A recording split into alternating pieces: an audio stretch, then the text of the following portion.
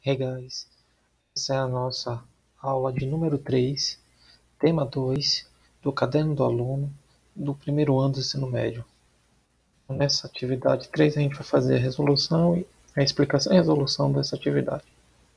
Então o que é que diz essa atividade? Ela diz o seguinte, é, foi uma questão tirada da AAP, existe uma relação de proporcionalidade direta entre duas grandezas, x e y se x é diretamente proporcional a y, então também y será diretamente proporcional a x.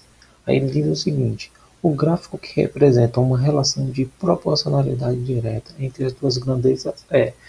Veja bem, a gente já viu anteriormente o que é o gráfico de uma é, grandeza entre duas grandezas que é diretamente proporcional. A gente viu que quando ela é diretamente proporcional, eu vou chamar aqui de y, igual a um K e um Y dividido pelo X, então a gente já viu isso. A gente viu que quando as duas grandezas são diretamente proporcionais, quando eu pego o valor de Y e divido pelo valor de X, ele me dá um, um K, um, um número. Esse número é o mesmo, certo? Para todo o intervalo de, de, de valor de é, saída e valor de entrada. Então, é, a, gente, a gente viu isso anteriormente e viu que um gráfico nesse sentido é um gráfico em que ele sai daqui.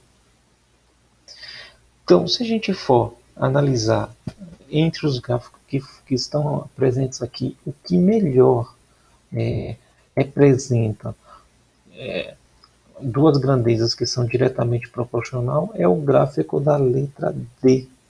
Novamente, por que isso? Porque a gente já viu que quando você tem duas grandezas que são diretamente proporcionais, quando você pega o valor de y e divide pelo valor dela de x, isso vai ser igual a um k, uma constante. Isso a gente viu lá nas primeiras aulas do tema 1 de proporcionalidade.